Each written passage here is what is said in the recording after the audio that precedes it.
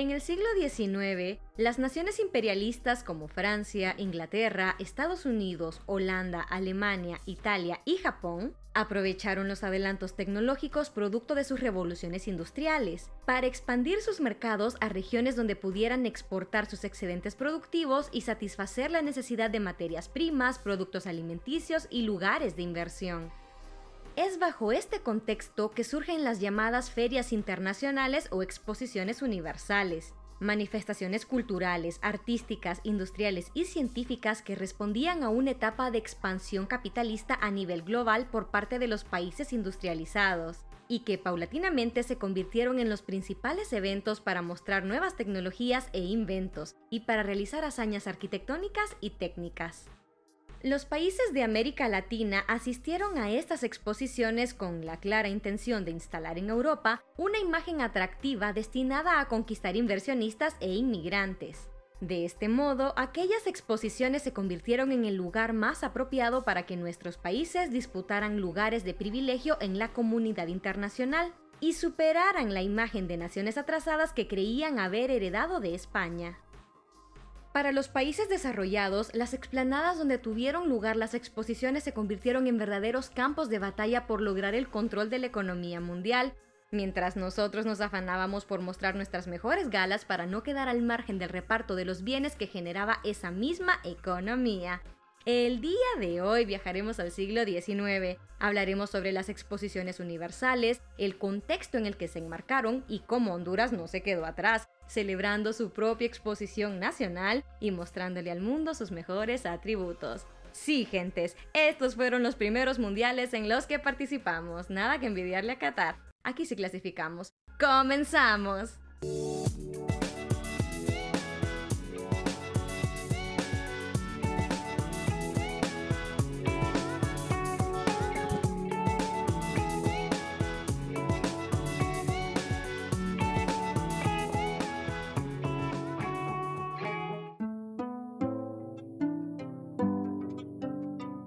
Inicialmente, la idea de convocar a las exposiciones universales surgió en Francia, país que inició en 1798 la tradición de organizar exposiciones nacionales que a lo largo de la primera mitad del siglo XIX fueron adquiriendo continuidad y dimensiones cada vez mayores. Aunque la idea se discutió largamente en ese país, Inglaterra fue la primera en organizar una exposición universal, para cuyos efectos construyó en Londres el Palacio de Cristal, diseñado por el paisajista Joseph Paxton e inaugurado junto con la exposición el 1 de mayo de 1851 bajo el título La gran exhibición de los trabajos de la industria de todas las naciones. El palacio lucía reluciente en medio del Hyde Park, con casi 14.000 expositores de 40 países que mostraban cerca de 100.000 artículos divididos en cuatro grandes categorías, productos brutos, máquinas, manufacturas y objetos del arte. El éxito fue extraordinario. La muestra recibió la visita diaria de cerca de 40.000 personas, hasta llegar a un total de 6.2 millones de asistentes, muchos de los cuales procedían de distintos rincones de Europa y el planeta. La exposición de Londres de 1851, según algunos autores, marcó un hito en la historia cultural del mundo. A partir de esta actividad, se sucedieron numerosas exposiciones celebradas en distintos lugares de Europa y Estados Unidos, generándose una verdadera fiebre por organizarlas o participar en ellas. Europeos y norteamericanos estaban convencidos de que el capitalismo, la ciencia occidental y la religión cristiana constituían el mayor grado de civilización alcanzado por el hombre hasta entonces, convicción que los llevó a convertir estas exposiciones en foco de irradiación de sus valores, encarnados en los escaparates que compartían con las naciones menos desarrolladas. Sin lugar a dudas, la más espectacular de todas las exposiciones fue la de París de 1889. Preparada con varios años de anticipación, se la hizo coincidir con el centenario de la Revolución Francesa y la inauguración de la Torre Eiffel, colocada a un costado del campo Marte como símbolo del progreso y grandeza de la nación. Por una parte, esta exposición se convirtió en una suerte de monumento universal al trabajo y por otra, en una muestra de la compleja humanidad de la época que la antropología y la psiquiatría recién empezaban a estudiar. Un dato curioso es que en estas actividades se solían entregar medallas y distinciones, y en la exposición de París de 1889, Honduras se llevó seis medallas. No lo comparen con el resto de Centroamérica o se van a deprimir.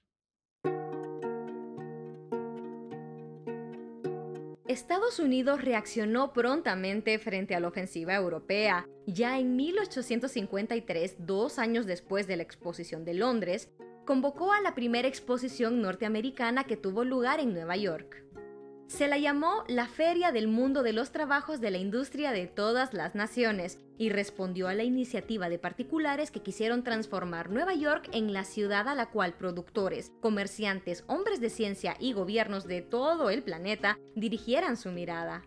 A partir de ese momento, Estados Unidos repitió la experiencia, organizando hasta 1930 por lo menos unas 12 exposiciones más.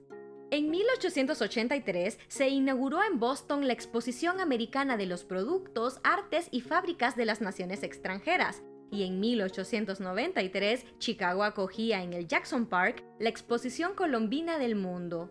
La exposición de Chicago se organizó en homenaje a los 400 años del viaje de Colón y estuvo orientada a favorecer el acercamiento de Estados Unidos con América Latina, proponiendo el panamericanismo como la estrategia que orientaría sus relaciones.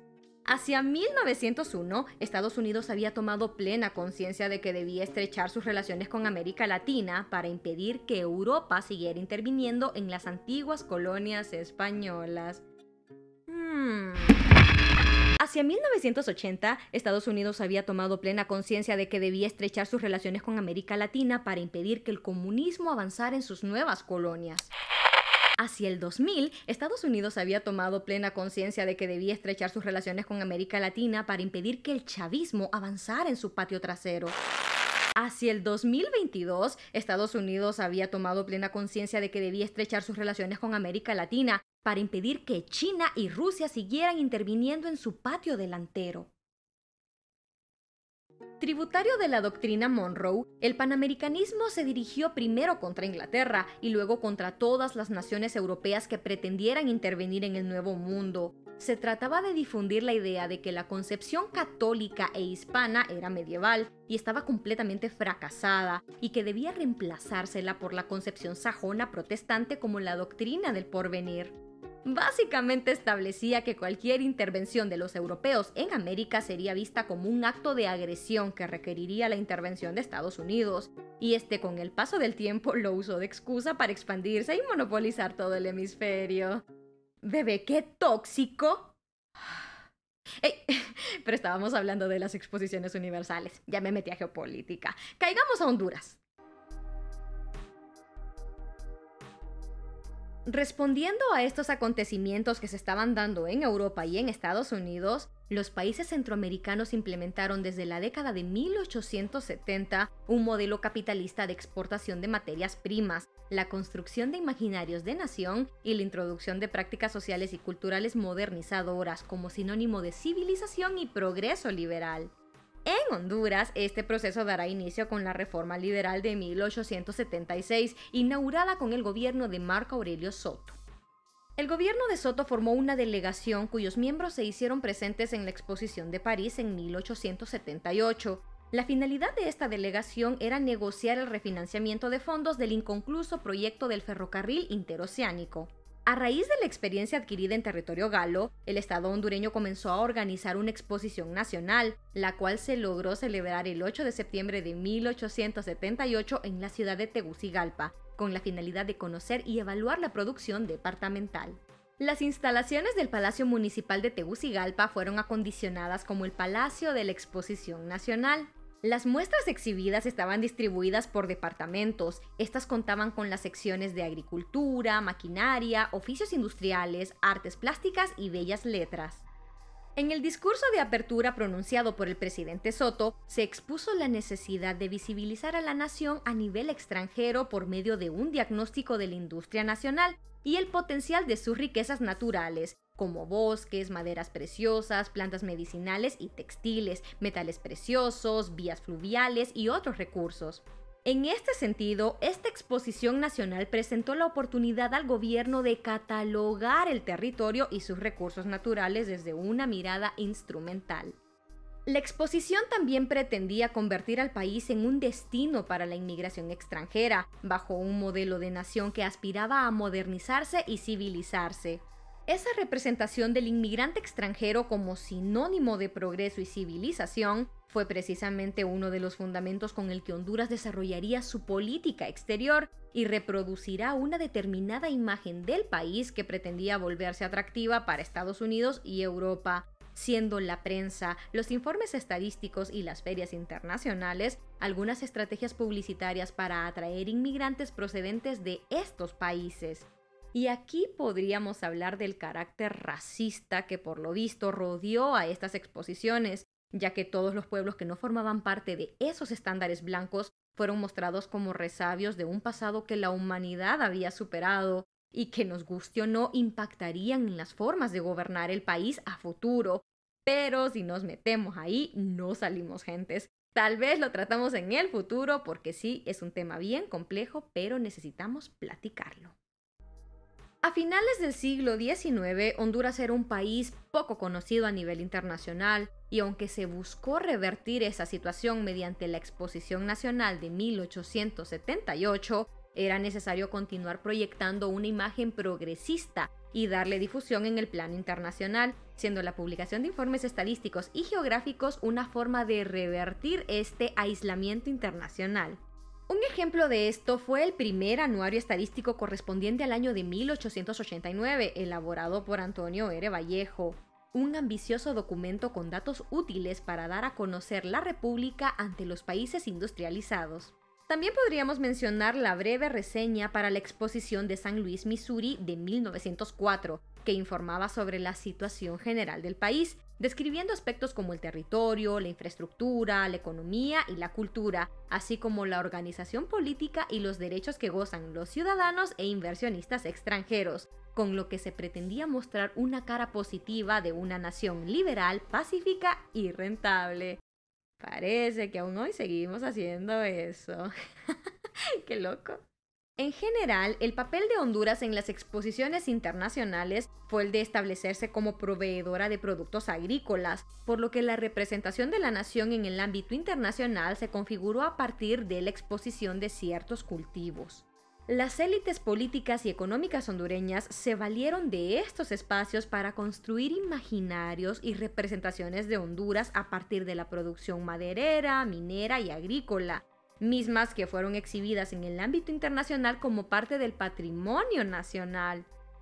Algunos productos como el banano, el café, el cacao y el tabaco fueron pensados como elementos representativos de la nación, lo que creaba una imagen de un país predominantemente agrícola, con abundantes recursos explotables y facilidades de inversión, imagen que aún hoy, más de 100 años después, seguimos reforzando miren que algunas cosas como que no quieren cambiar. Gente bonita, muchas gracias por ver nuestro video. Toda la información utilizada en este guion la sacamos de los artículos. Las exposiciones universales y su impacto en América Latina de Jorge Pinto Rodríguez y Honduras en las ferias internacionales de industria y cultura, publicidad y representaciones de la nación de Julio José Sevilla Galeano. Ambos escritos se los dejamos en la caja de descripción por si quieren leerlos. Les recordamos que se suscriban al canal si aún no lo hacen y que nos sigan en nuestras redes sociales para seguir aprendiendo sobre historia, patrimonio y claro, cultura. Yo soy Ciris, esto es Colectivo Re y será hasta la próxima. Besotes patrimoniales a todos. Adiós.